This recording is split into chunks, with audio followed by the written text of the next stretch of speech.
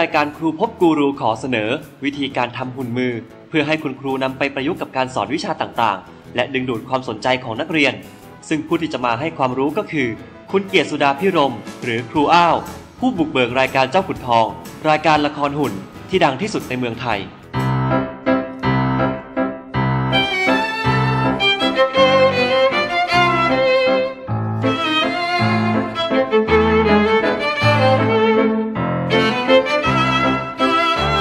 ความความรักในการ์ตูนนะคะ ในนิทานสำหรับเด็กอยู่แล้ว ดังนั้นไอ้ความความความรู้ความเข้าใจเรื่องนี้มันนำมาประกอบกับหุ่นมือ เมื่อเมื่อเมื่อเราเรารู้จักศิลปะหุ่นมือเนี่ยเราก็เริ่มศึกษามันจุดเริ่มต้นที่ทางเจ้าขุนทองนะฮะเริ่มมาจากที่ทางช่องเจ็ดน่ะผู้บริหารช่องเจ็ดเนี่ยอยากได้รายการที่ ส่งเสริมการใช้ภาษาไทยให้ถูกต้องนะคะ เด็กดูตอนเช้าโดยที่ไม่มีโฆษณาขั้นเคยเอาเอาหุ่นเนี่ยไปเล่นกับเด็กนะเด็กเด็กจะสนใจแล้วเขาจะเชื่อ ถ้าเด็กเล็กนะคะเขาจะเชื่อว่าอันนี้เป็นตัวนั้นตัวนี้ถึงเขารู้เขาก็ทำเป็นไม่รู้ เพราะว่าเขาจะสื่อสะท้อนอารมณ์ตัวเองออกมาทางนั้นบางทีเด็กเนี่ยจับหุ่นมาเล่น เด็กเล่นหุ่นเนี่ยเราจะดูอะไรได้เยอะแยะเลยจากจากจากสิ่งที่เด็กพูด ว่าเด็กเล่นอะไร เด็กเด็กพูดอะไร หรือบางคนเนี่ยเด็กเด็กบางคนมาถึงแบบเอ่ออาจจะก้าวร้าวนะจะมีการตีหุ่นนะคะทันทีเลย บางคนนี่อ่อนหวานก็จะแบบค่อยๆพูดจาเพราะนะคะมันมันจะมีหลายอย่างค่ะคงเหมือนคนนะนะคะหุ่นเนี่ยคือรูปแบบรูปลักษณ์ของของตัวเขานะคะ รูปร่างหน้าตาสีสัน อันนี้ด้านหนึ่ง อีกด้านหนึ่งคืออความมีชีวิตที่เราใส่ให้นะมีชีความมีชีวิตชีวาแล้วก็บุคลิกนะคะที่เราใส่ให้หุ่น มันจะได้มันจะได้เป็นจริงขึ้นมา จะได้ความรู้เพิ่มเติม หรือเทคนิคการสอนที่มาช่วยเด็กๆ ให้เรียนสนุกขึ้น อาจจะได้เทคนิคจากเพื่อนๆที่ไปเวิร์กช็อปด้วยกัน หรือจากทีมงานแนะนำเพิ่มเติมมาค่ะ ก็อยากแบบว่าหากิจกรรมใหม่ ๆ อะไรอย่างเงี้ยค่ะ ที่มาสอนให้เด็กมีสมาธิมากขึ้นนะคะถ้านักเรียนได้รับเทคนิค ที่ทำให้เด็กเนี่ยเขามีโอกาส ได้ทำงานร่วมกับกลุ่ม ได้ทำงานร่วมกับเพื่อน แล้วก็มีการแบ่งปันความคิดได้ดีขึ้น เอามาช่วยสอนช่วยทำกิจกรรมทำให้เด็กเกิดความสนุกสนาน เด็กก็ได้ได้มีส่วนร่วมในการทำกิจกรรมนั้น เราอาจจะมีการใช้หุ่นให้มีการเคลื่อนไหว แล้วเด็กก็จะได้มองเห็นว่าเออภาพเคลื่อนไหว แล้วเด็กจะมีความสนใจกับตัวคุณครูมากขึ้น แล้วก็ในสื่อของการเรียนการสอนได้มากขึ้น การสนทนาของช่วงแชร์ริ่งไอเดียในวันนี้ จะเป็นการพูดคุยถึงปัญหาเรื่องสมาธิ ความสนใจในการเรียนของนักเรียน และวิธีการแก้ปัญหาของคุณครู อยากรู้ว่าเวลาสอนมีเรื่องลำบากใจอะไรเกี่ยวกับเด็กๆเรื่องการสอนเนี่ยค่ะมันมีปัญหาหรือว่ามีมีเรื่องลำบากใจ ว่าเอออยากจะถ่ายทอดให้เด็กแต่เด็กเด็กรับได้ไหมหรือ อ่ออะไรไหมเบื่อไหมอะไรเงี้ยค่ะที่เราเจอนะคะ ก็จะเป็นช่วงระยะความสนใจของเด็กจะสั้นนะคะ สั้น เพราะว่าเขาเป็นเด็กเล็กด้วย แล้วก็เหมือนเหมือนถ้าเกิดว่าเราตั้งไว้สัก 15 นาที 20 นาทีก็อาจจะทำได้แค่ 10 อะไรอย่างเงี้ยค่ะ สำหรับกิจกรรมการเรียนการสอนของเขาเนี่ยเขาจะไม่ชอบอะไรที่ซ้ำๆซากๆคุณครูคิดว่าถ้าถ้ามีอะไรมาใหม่ ๆ เนี่ย น่าจะเรียกร้องความสนใจในการเรียนของเด็กมากมากๆยิ่งขึ้นนะคะ พอมาถึงห้องเรียนเนี่ย หนึ่งอุปกรณ์ของเด็กประถมเนี่ยมันจะมากขึ้น เช่น มีกล่องดินสอ มีดินสอยางลบไม้บรรทัดเงี้ยนะคะพอเวลาคุณครูสอนปัญหาที่เกิดขึ้นมาอีกก็คือ คุณก็จะเล่นแต่ดินสอตัวการ์ตูน ไม่ฟังคุณครูอะไรเงี้ยสนใจแต่ตัวการ์ตูนใหม่ๆคิตตี้เบนเทนอะไรที่เขานิยมกันนะคะสำหรับความสนใจของเด็กในชั่วโมงเรียนนะคะก็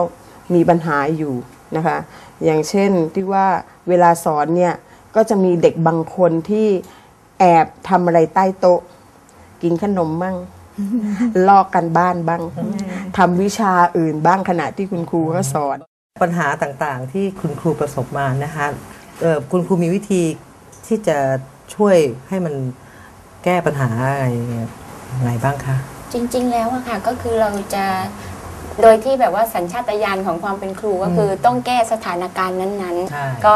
เหมือนเด็กเขาไม่สนใจอะไรอย่างเงี้ยก็ หยิบเลยนิทานหรือไม่ก็ร้องเพลงอะไรอย่างเงี้ยพอความสนใจกลับมาปุ๊บก็เริ่มต่อต่อที่เราสอนอะไรอย่างเงี้ยค่ะ คือส่วนใหญ่เราจะไม่ไม่หลากหลายอะค่ะ ก็คือจะใช้แบบเดิมๆอาจจะเน้นน้ำเสียงว่ามีอะไรเกิดขึ้นแล้วอยู่หน้าห้องเรียน แล้วก็จะเป็นมุมนิทาน นิทานจากหนังสือ นิทานจากหนังสือโดยบางทีเราก็จะให้เขาหยิบหยิบมานิทานที่เขาชอบเล่มหนึ่งแล้วเราก็จะเป็นคนเล่า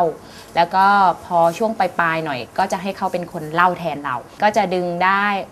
พักหนึ่งพักหนึ่งแล้วก็ แล้วก็ความสนใจที่มันมีมากกว่าบางทีกับของเล่นของเขาเขาก็จะไปปหนึ่งก็ต้องมีการแข่งขันการให้ดาว เราจะเพิ่มการให้ดาวเด็ก ดาวเด็กดีเขาก็จะตั้งใจฟังแล้วก็จะพยายามอ่านอ่านหนังสือของเราให้ได้ เด็กๆเขาจะมีการอาชอบบทบาทสมมุติกันอ่า แสดงเป็นแสดงเป็นครู แสดงเป็นนักเรียน อย่างนี้ยค่ะ เด็กๆเขาจะชอบ ยังชอบมีการอ่าให้ให้ให้รางวัลค่ะ ชอบยังชอบอยู่ค่ะมีค่ะการให้รางวัลแล้วก็มีการชมเสริมแรง เด็กๆเขาจะชอบค่ะ คุณครูทุกท่านได้คุยมาเนี่ยก็ก็ก็ดีแล้วนะคะมีมีครูที่ดี มีโรงเรียนที่สนับสนุนเยอะ แล้วก็กิจกรรมที่ฟังมาเนี่ยก็ก็ดีแล้ว แต่ว่าอันที่เป็นหุ่นเนี่ยนะคะ ก็สามารถเอาว่ามันสามารถเข้าไปอยู่ในทุกกิจกรรมที่คุณครูทำอยู่แล้ว แล้วหุ่นมันมีมีหลายแบบ คือเราต้องสังเกตว่าอันไหนที่มันมันมีผลกับเขา แล้วอาจจะเป็นคนที่ชักจูง คือทุกอย่างนะหุ่นมันคือรูปรูปแบบการ์ตูนนะมันเหมือนตุ๊กตา นี่คือรูปแบบของมันเอ่อเสียงนะคะค่ะแล้วก็เรื่องราวที่เราเอาให้เด็กเนี่ยมันสาม สามอันประกอบกันนะคะ แล้วก็ตัวเราที่ต้อง acting เป็นเล่นละครเป็น รู้สึกว่าการที่จะเอ่อช่วยให้ปัญหานี่ดีขึ้นให้คลี่คลายขึ้นเนี่ยเป็นอีกทางหนึ่งนะคะหุ่นเนี่ยจะช่วยให้จิตใจเขาอ่อนโยนนะคะ ให้เขาเอ่อเรียนรู้จากจากเรื่องเรื่องที่เราเอาหุ่นมาเล่น แล้วเป็นตัวที่เอ่อ ทำให้เด็กเด็กโตหน่อยเนี่ยสามารถแสดงออกถึงพฤติกรรมได้ว่าตัวเขาเป็นอย่างไร ตัวเขารู้สึกยังไงตอนนี้นะคะ เราจะได้เข้าใจเขา ดังนั้นเนี่ยการนำหุ่นมาไว้กับการเรียนการสอนหรือการอบรมเด็กๆเนี่ยมันทำให้ทุกอย่างเนี่ยดูอ่อนโยนอ่อนหวานขึ้น หุ่นจะเป็นเป็นสื่อชนิดหนึ่งที่เข้าไปอยู่ในทุกอย่าง การเวิร์กช็อปในวันนี้ครูอ้าวได้นำวิธีการทำหุ่นมือชนิดต่างๆ ในแบบง่ายๆ มาแนะนำให้กับคุณครู เพื่อนำไปใช้เป็นสื่อในการสอน และดึงดูดความสนใจของนักเรียน อันนี้เราก็จะมาทำหุ่นชนิดหนึ่งที่ง่ายมาก คือหุ่นพวกหุ่นมือนะคะ คืออย่างเนี้ยนะคะ เป็นเรื่องของการตกแต่งตามจินตนาการ สามารถจะครูทำให้เด็กเล็ก สนใจในในแบบเรียนในบทเรียนนะคะ แล้วอุปกรณ์ที่ทำเนี่ยเอ่อใช้ทำเนี่ยก็ไม่ไม่ไม่ซับซ้อนนะคะ อุปกรณ์ก็มีอุปกรณ์ง่ายๆที่เราสามารถจะหาได้ทั่วไป อย่างเป็นเศษวัสดุต่างๆกระเศษกระดาษไม้ไอติมก็จะใช้สำลียัดหรือไม่ก็ได้นะคะ เป็นหัวอย่างนี้ก็ได้หรือเป็นหัวตรงๆมาก็ได้ เดี๋ยวลองคุณครูลองทำไหมคะให้กาวแปะเลยเหรอคะ ใช้กาวแปะนะคะอันนี้เป็นทำอย่างง่ายง่ายๆ คือว่า ไม่ต้องใช้ได้เย็บอะไรอย่างเงี้ยถ้าถ้าครูจะจะเย็บก็ได้นะคะ อันนี้เหมาะกับเด็กเล็ก ๆ แล้วก็เหมาะกับเเรื่องสั้นๆค่ะเรื่องที่จะเล่นน่ะสั้นๆ การทำหุ่นเนี่ยมันให้ความเพลิดเพลินนะคะ แล้วก็มันก็มันอยู่กับตัวเองค่ะ เวลาที่ทำไปแล้วก็นั่งคิดอะไรไป แล้วก็ออกแบบในใจด้วย แล้วจิจินตนาการในใจด้วยว่าอ่าตัวนี้นิสัยอย่างนี้นะ หน้าตาคนเป็นอย่างนี้ ติดตาตรงนี้ เอ๊ะผมเอาทรงอะไรดีเครื่องประดับมีไหมนะคะ เวลาที่เขาออกแบบไปเนี่ยเราทำไปด้วยเนี่ยมันได้อะไรหลายอย่างนอกจากความคิดสร้างสรรค์อย่างที่รู้ๆกันนะคะ แล้วถ้าเผื่อให้เด็กทำไปกับเราด้วยก็จะยิ่งดีตามปกตินะคะเวลาทำหุ่นเนี่ยเราจะไม่ไม่มีการวิจารณ์กัน เราจะจะให้เป็นเป็นเรื่องของจินตนาการจริง ๆ ครูแต่ละท่านใช้จินตนาการในการตกแต่งหุ่นถุงมือของตนเองอย่างตั้งใจ และสนุกสนาน โดยเลือกใช้อุปกรณ์ที่หลากหลาย และมีสีสันที่สวยงาม ใช้เวลาไม่นานนะคะ ใช่ไหมคะแป๊บเดียวเราก็ทำเอ่อออกมาแบบไอเดียแตกแตกต่างกันไปนะคะ สังเกตดูเมื่อกี้ดูคุณครู กลับมาเป็นเด็กอีกครั้งหนึ่งแช่มชื่น แล้วก็อยู่กับจินตนาการตัวเอง ทันนี้การเล่นเนี่ยไอ้หุ่นอย่างเงี้ยมันเล่นง่าย มันแค่กระดิกนิ้วนะคะ ตัวไหนพูดก็นะตัวไหนพูดก็นะ ทีละนิ้วเป็นการแยกประสาทได้ดีมากสำหรับเด็กฝึกกล้ามเนื้อมือของเด็กที่ต้องจับดินสอที่ก็เออไอ้ไอเนี่ยมันเป็นการฝึกสมองอย่างหนึ่งเอ่อการเล่นก็ขยับนิ้วตามใจชอบนะคะ ก่อนที่เออมันจะไปถึงคนดู ที่เป็นเด็ก มันจะต้องเริ่มจากเรา จากเราไปที่หุ่นแล้วหุ่นถ่ายทอดไปนะคะ แล้วเด็กถึงจะได้รับเข้าใจตัวละครนั้นๆ และเข้าใจเรื่องราวนั้นๆนายพรานค่ะ นายพรานบอกว่า เจ้าสุนัขจิ้งจอกตัวนี้เหรอเจ้าหมาป่าเนี่ย เราหามาตั้งนานแล้ว แล้วนายพรานก็จับ เจ้าหมอป่าไป แล้วก็บอกยายกับหลานว่า ไม่ต้องห่วงนะ ต่อไปนี้เนี่ยเจ้าหมาป่าเนี่ยจะไม่มาเกเรยายกับหลานอีกแล้ว หนูน้อยหมวกแดงเนี่ยก็เลยกลับไปหาแม่ได้อย่าง ปลอดภัยไหม ปลอดภัยไหมคะ ได้อย่างปลอดภัยนำ หุ่นนิ้วมือค่ะมาเล่านิทาน เด็กก็จะมองว่าเราเรามีหุ่นอะไรบ้างแบบไหนอะไรอย่างเงี้ยค่ะเขาก็จะมีความสนใจมากขึ้นนะคะ คือเวลาคุณครูพูดอะเขาอาจจะมีความสนใจแป๊บหนึ่งอะไรเงี้ยแต่ถ้าเรามีมีมีหุ่นมือหรือว่ามีถุงมือมาช่วยเนี่ยเขาก็จะให้ความสนใจกับสิ่งนั้นมากขึ้นนะคะคือเด็กอะเขาก็จะชอบอะไรที่ใหม่ๆน่ารักอะไรอย่างเงี้ยค่ะ เพื่อที่ว่าจะได้พัฒนาความคิดสร้างสรรค์ของเขาของแต่ละคนนะคะ ท่านนี้ก็มาถึงหุ่นอีกอย่างหนึ่งนะคือหุ่นเขาเรียกว่าหุ่นทำจากถุงกระดาษ ประมาณว่าถุงกระดาษท่านี้หุ่นนี้มันทำได้หลายอย่างหลายวัสดุมาก มันมีกระดาษก็ได้ผ้าถุงมือของเหลือใช้เสื้อผ้าเก่าก็มาทำได้ ฟองน้ำก็ได้นะคะ มันง่ายดีก็เลยเอามาให้แนะนำนะคะมาแนะแนะนำให้ทำกัน อันนี้ทำจากกระดาษสีนะคะ ถ้าเป็นจริงเนี่ยให้เด็กๆทำแล้วฝึกหัดอะไรกันเนี่ยก็ใช้กระดาษเหลือใช้ดีกว่านะคะวิธีทำเนี่ยมันก็คือหุ่นเนี่ยมันไม่ขยับมือก็ปากนะคะ อันนี้ขยับปากเป็นหลัก แล้วทำจากกระดาษคือทำง่าย แต่ว่าไม่ทนนะนั่งทับแป๊บเดียวก็แบนแล้วนะทีนี้ถุงเนี่ยคือตัวหลักของตัวนะคะ แบบนี้เราก็ทำถุงแบบนี้นะคะ เหมือนพับถุงธรรมดาเนี่ยแหละค่ะ ขึ้นมาจากกระดาษ พอที่จะใส่มือเราเข้าไปได้ขนาดนั้นนะคะ ธรรมดาเนี่ยเราเคยเห็นถุงอย่างนี้ใช่ไหมที่เอาเอาตรงตรงตรงตรงตรงนี้ขยับใช่ไหมฮะตอนนี้เราเพิ่มขึ้นมาให้มันชัดยิ่งขึ้น พอเวลาปากมันใหญ่ชัดเจนเนี่ยมันก็สามารถจะให้ความสนุกสนานได้มากขึ้น เพราะปากมันใหญ่ พูดแล้วเห็นชัด อันนี้ก็เอ่อเอาปากนี่แปะเข้าไป มันก็จะเป็นอย่างนี้นะคะ มันเป็นจานกระดาษ นะคะอันนี้เลยเป็นหุ่นที่ประยุกต์ขึ้นมาหน่อยจากถุงอย่างเดียว เป็นมีจานกระดาษด้วย อันนี้เราก็มาเริ่มจากการที่ทำถุงก่อนนะคะ ก็เหมือนถุงกระดาษทั่วไป ถุงกระดาษแบบมีก้นนะคะ เราก็จะพับประกบกันแล้วก็กะขนาดค่ะ เดี๋ยวเดี๋ยวลองลองพับดูนะคะ ก็ใช้กาวเป็นหลักนะคะ เพราะว่าครั้งนี้เป็นการลองทำดูก็จะให้ง่ายแล้วก็รวดเร็ว แต่ละท่านลองทำหุ่นถุงกระดาษ โดยตกแต่งตามจินตนาการได้หลากหลาย ซึ่งคุณครูแต่ละท่าน ก็ได้ตกแต่งหุ่นถุงกระดาษของตนเอง ด้วยสีสันที่สวยงาม และมีรูปแบบที่แตกต่างกันไป ซึ่งสามารถนำวัสดุเหลือใช้มาทำได้ ตอนนี้เราก็มีสวนสัตว์ย่อมๆอยู่ตรงนี้นะคะ มีตัวสิงสารสัตว์มากมาย ไหนลองลองให้ดูสิคะว่า มีตัวอะไรบ้างมี โอ้อันนี้ไม่ใช่สัตว์นะคะ เป็นคนคนชนเผ่าคนป่า หน้าตาแปลกมากเลยแล้วเราน่าสนใจมาก เพราะว่ามันมันมีส่วนที่มันนูนขึ้นมาด้วยนะคะ มีกระต่ายนะคะน่าเอ็นดู คุณปูนะคะ คุณแกะนะคะ แล้วก็คุณกบกับคุณไก่ ตอนนี้ยังไม่ได้ตั้งชื่อนะคะ ไม่เป็นไร เดี๋ยวค่อยตั้ง เวลาทำหุ่นแล้วเนี่ยเราต้องตั้งชื่อด้วย เพราะว่าเขาจะได้เป็น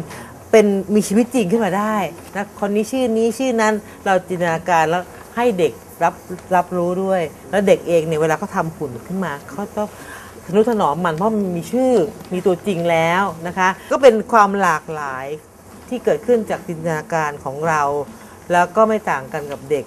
ถ้าเด็กจะทำเนี่ยเขาจะหลากหลายกว่าเราอีก เราได้หุ่นอย่างนี้มาแล้ว เราก็จะมีอีกอย่างหนึ่งที่จะแนะนำเป็นอย่างง่าย อันนี้สอนเด็กได้ดี แต่ว่ามันมันมันพูดไม่ได้ แต่ว่ามันทำอะไรได้ตลกดีนะคะ อย่างเช่นตัวนี้สามารถเป็นเป็นช้างนะคะนะคะอ่าไปลองดูนะคะ ตัวนี้นี่ตัวนี้เป็นอะไรอ๋อเป็นเป็นลิงแล้วก็สามารถจะมีแขนได้ แต่ว่ามันมันอย่างเงี้ยทำไมนิ้วเราสั้นเลย มือเล็กเล็กมากเลยนะคะ อันเนี้ยมีแขนก็เจาะรู ออกแบบออกแบบต่างๆนานา เอาลักษณะเด่นของตัวละครเนี่ยมาใช้ ถ้าเผื่อว่าเราจะพูดถึงวัววัวนี่เด่นตรงขาวใช่ไหมคะอ่าก็มีขาวอย่างนี้เป็นต้นนะคะ อันนี้ก็เป็นอีกแบบหนึ่งทำง่าย แต่ว่าได้ใช้ประโยชน์ได้เฉพาะอย่างนะคะ ใครอยากมีผมไปไว้ที่บ้านบ้าง ยกมือขึ้น โอ้โห วันนี้ ผมต้องขอร้องให้คุณครูนุชช่วยสอนน้องๆหน่อยได้ไหมครับ ได้คุณนุชจะสอนให้เลยนะคะ ใครอยากทำยกมือสูงๆอีกทีรอแป๊บหนึ่งนะคะ ถ้างั้นเดี๋ยวคุณครูให้เด็กๆรู้จักกับอุปกรณ์ก่อนนะคะ ว่ามีอะไรบ้าง มีกระดาษสี แล้วก็มีสี แล้วก็มีกาวนะคะ มีกาว มีสีด้วย และ ที่สำคัญที่สุดและอันตรายก็คือสีขาวเป็นรูปทรงวงรีนะคะ แล้วก็มีกระดาษสีอีกสีหนึ่งสีเข้มขึ้นมาหน่อย เป็นวงรีสีเป็นวงรีขนาดเล็กทำสองข้างเลยนะคะทำสองข้างเลยทำเหมือนกันเนี่ยค่ะ เดี๋ยวแต่งตัวเสื้อก่อนก็ได้ลูกแล้วค่อยทำแขนมันก็ได้แต่งตัวเสื้อก่อนตัวเสื้อมันก่อนเสื้อแบบไหนอะหืม นี่ไงกระดาษหนูใส่ไปเลยลวดลายหนูจะใส่แบบไหนหนูใส่ได้เลยทำลายเสื้อมันด้วยกระดาษสีเลยค่ะ อยากได้ลายแบบไหนตัดเองเลย สีไม้เรามีทำไปเลยค่ะลุยได้เลยเอ้ยโอเค เราจะมีตัวอย่างให้เด็กๆ เด็ก ๆ จะประดิษฐ์เหมือนก็ได้ หรืออาจจะตกแต่งอีกแบบหนึ่งตามความคิดสร้างสรรค์ของเด็กๆ ก็ได้ค่ะ เป็นการปลูกฝังในการดูแลรักษาของด้วย เหมือนตัวเองทำเองก็รู้สึกรักรู้สึกผูกผูกพันรู้สึกหวง น้อง Rabbit จะมาสอนเกี่ยวกับฤดูกาลเดี๋ยววันนี้เราจะมีการพูดสนทนากับเจ้า Rabbit ด้วย เราออกมาคุยกันดีไหม เกี่ยวกับฤดู กาล Good afternoon How are you I'm fine thank you and how are you I'm fine thank you What do you do in summer In summer I go to the beach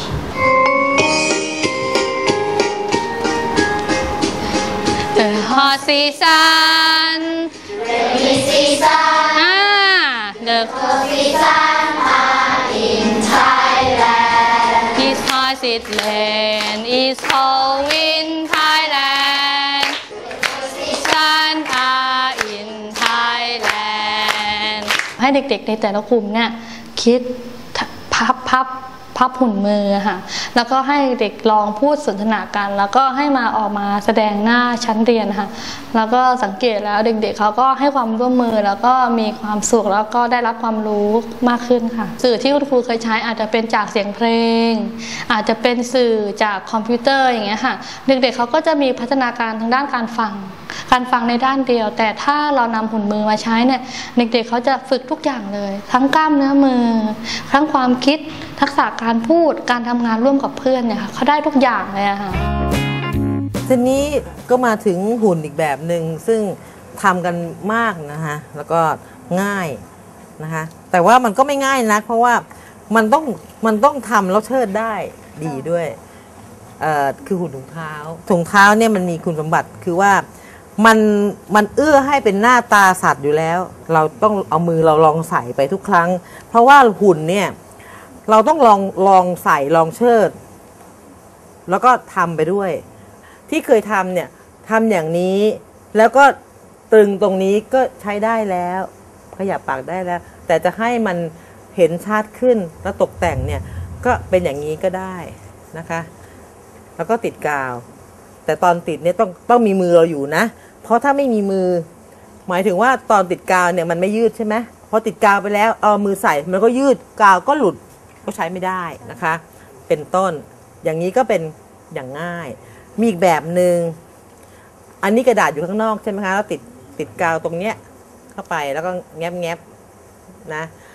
อีกอย่างหนึ่งคือกระดาษนี้อยู่ข้างในอยู่ข้างในนี้เลย คือต้องทากาว ทากาวบริเวณนี้ก่อน รอบๆนะคะ ทารอบๆนะคะ แล้วค่อยๆสวมเข้าไป อย่าให้กาวติดกัน กาวที่ใช้ต้องเป็นกาวประเภท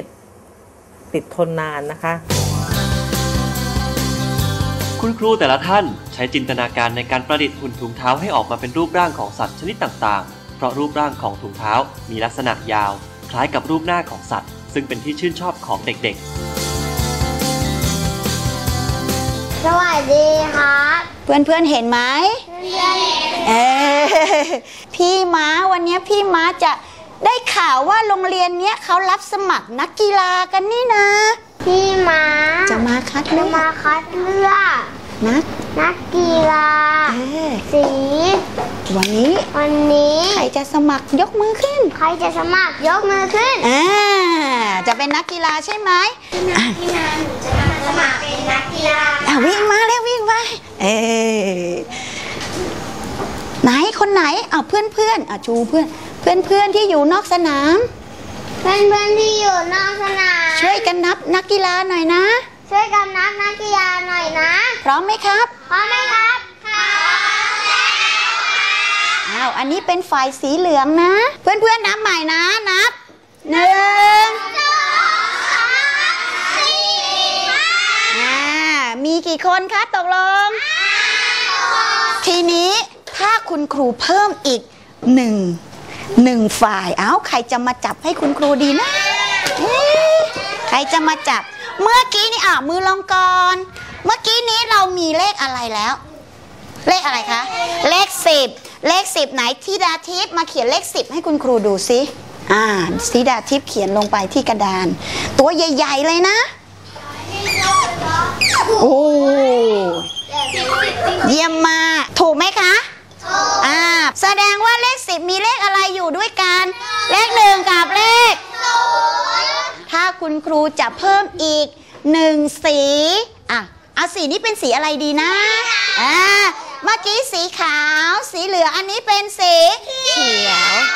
เรามานับดูว่าสีเขียวจะมีกี่ตัว พร้อมไหมคะเด็กๆเอาเพื่อนๆช่วยกันเริ่มหนึ่งสามสี่ห้าเอาล่ะ แสดงว่ามีสีเขียวอีกกี่คนคะ ห้าคน แล้วใครจะตอบคุณครูได้ว่า เมื่อกี้เรามีอยู่แล้ว10เราจะเพิ่มอีก5เป็นเท่าไหร่วันนี้ที่ได้ใช้หุ่นมือเข้ามา เด็กๆรู้สึกจะชอบแล้วก็สนใจกับการเรียนมากขึ้นนะคะ พอคุณครูได้เอาหุ่นมือมาใช้ เขาจะให้ความสนใจแล้วก็สนุกสนาน แล้วก็ คิดว่าเขาก็คงจะเข้าใจมันรวบรวมกับในเนื้อหาได้ดีอะค่ะ ก็พอให้เด็กๆ ได้ทำแบบฝึกหัดเขาก็ทำได้ถูกเลยอะค่ะ เขาทำได้ถูกต้อง แล้วก็นับจำนวนได้ นับจำนวนได้ถูกต้อง รู้ว่าค่าของตัวเลขเนี่ยมีอยู่ในหลักอะไร คุณครูคงสงสัยว่าเรา มีหุ่นแล้วอย่างง่ายๆเนี่ยนะคะ แล้วเราจะไปเล่นยังไง แล้วจะมีเล่นที่ไหนที่โรงเรียนเนี่ยมีมีฉากอะไรไหม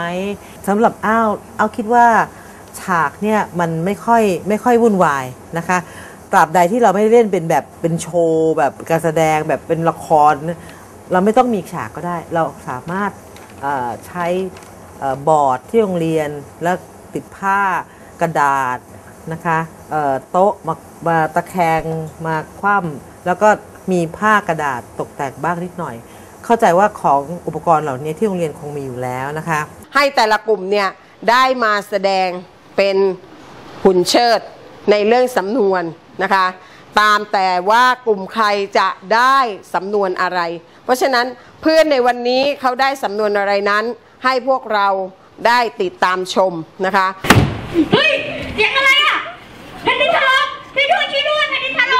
โวยวายอะไรมาเสียงดังเชียวแผ่นดินถล่มนะสิแผ่นดินถล่มฮะแผ่นดินถล่มเหรอ ไปดูกันก่อนเถอะฉันเราไปกันเลยเนี่ยเห็นไหมเสียงมะพร้าวหล่นตั้งหากเธอมั่วแล้ว ใช่เหรอเดี๋ยวลองจับก่อน ใช่ด้วยหน้าแตกเลยเรา เห็นไหมทีหลังอะเธออย่าตื่นตกใจเกินกว่าเหตุนะ จากเรื่องวันนี้คิดว่าได้ข้อคิดไหมคะ ได้ไหม นะอย่าทำอะไร อย่าทำอะไร เกินกว่าเหตุ การแสดงหุ่นเชิดในสำนวนไทย ให้ความคิดสร้างสารรค์ แล้วก็จินตนาการกับนักเรียนค่ะ แล้วก็ทำให้สำนวนไทยจำได้ง่ายค่ะ มันเชิดยากค่ะ แต่ว่าตอนมาดูเพื่อนเล่นหนูทำให้หนูคิดว่ามันง่ายขึ้นค่ะกิจกรรมเมื่อกี้ก็คือ โยงเข้าสู่ในบทเรียนเรื่องสำนวนไทยนะคะ ซึ่งจะมีสุภาษิตคำพังเพยนะคะในในกลุ่มของภาษาไทยนะคะในกลุ่มของสำนวนเนี่ยแล้วเราก็ให้เด็กเนี่ยลงความเห็นเราก็ใช้หุ่นเนี่ยมาแสดงเป็นหุ่น โดยให้เด็กเขาสร้างบทขึ้นมา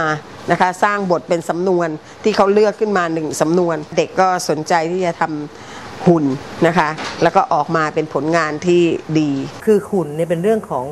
ออการลองและอารมณ์ใจจิตใจที่รักในการทำงานนี้นะคะ แล้วก็มันเป็นสิ่งที่เป็นประโยชน์แก่ทั้งผู้ใหญ่และเด็กว่างั้นเถอะทุกคนนะคะทุกเพศทุกวัย หุ่นมันมีอีกมากมายหลายอย่าง แล้วก็ทำจากสิ่งวัสดุได้หลายอย่างนะคะก็ขอฝากไว้ว่าคุณครูคงจะนำสิ่งเหล่านี้นะคะไปไปใช้ให้ให้เกิดประโยชน์แก่เด็กๆ แล้วก็ตัวเองด้วยนะคะ